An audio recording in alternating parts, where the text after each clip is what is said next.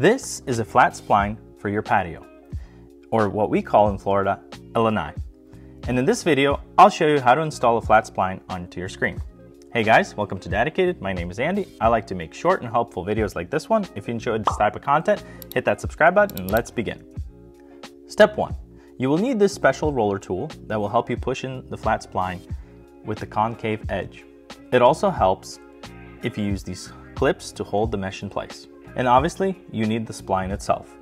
I'll have links to all these in the description below. Step 2. When installing the flat spline, it helps to have these clips installed to hold your screen mesh.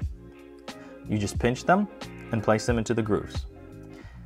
Then use the convex side of the roller tool and go through the groove to help you push the mesh inside.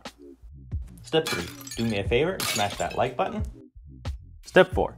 Thread the new flat spline through the first clip and push it into the groove by hand. Push it so that the round edge goes in first, and the flat side will be on the outside. Use the concave end of the roller tool and push the spline into the groove. You'll need to apply some pressure to the tool for it to go inside. Don't be afraid to roll it on multiple times.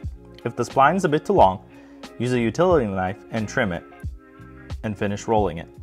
Then remove the metal clip and continue on with the roller tool pushing the spline all the way into the groove. That's it.